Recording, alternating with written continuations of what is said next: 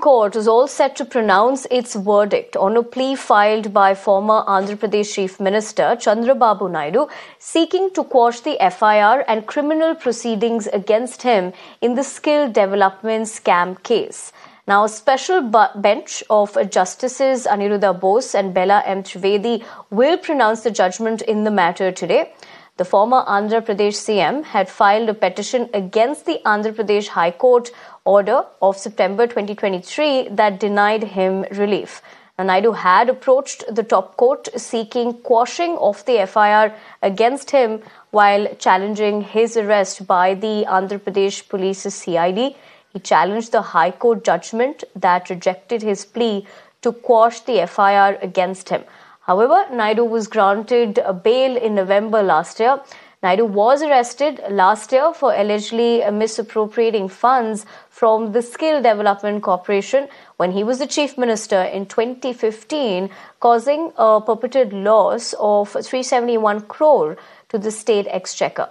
Now, the former Andhra chief minister has denied the allegation. My colleague Harish joins me for the latest. Harish, good morning. As far as this being heard at the top court today, uh, what can we expect? Because we do know that there were several cases against him. Uh, one, of course, essentially being the skill development scam case. Legally speaking, what next for him? Yes, uh, actually, I guess uh, it's a D-Day for uh, the uh, former Andhra Pradesh Chief Minister and the TDP Chief uh, Chandrababu Naidu as uh, the Supreme Court will be pronouncing the judgment on a petition. Uh, he filed uh, seeking uh, caution of the FIR and all uh, criminal proceedings in connection with the uh, skill development scam in which he is an accused. Remember, he was accused of misappropriating rupees 330 crores while he was the chief minister of Andhra Pradesh between uh, 2014 and 19 from the uh, Skill Development Corporation allotted funds uh, to the tune of 330, 371 uh, crores. Uh, so, uh, in fact, uh, he has challenged the uh, High Court's rejection of his uh, plea.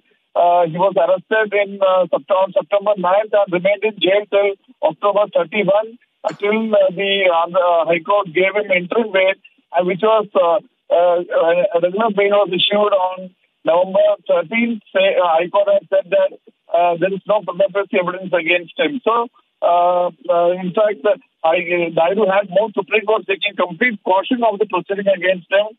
Uh, the, uh, he, has, he has argued through his lawyers that it was nothing but a political vendetta.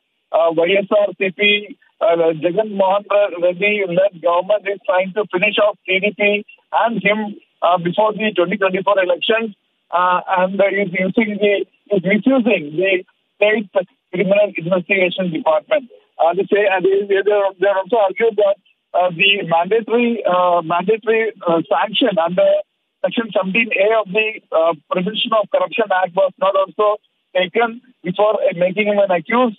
But the state government has argued that there is strong evidence right. against him, and uh, the Section 17A uh, was inserted uh, much after he was made an accused. So uh, both sides' arguments were heard and Supreme Court had reserved the judgment on October 13.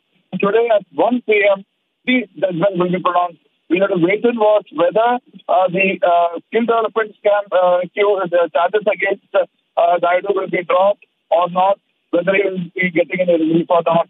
All this will be coming out uh, when the Supreme Court will pronounce the judgment at 1 p.m. today.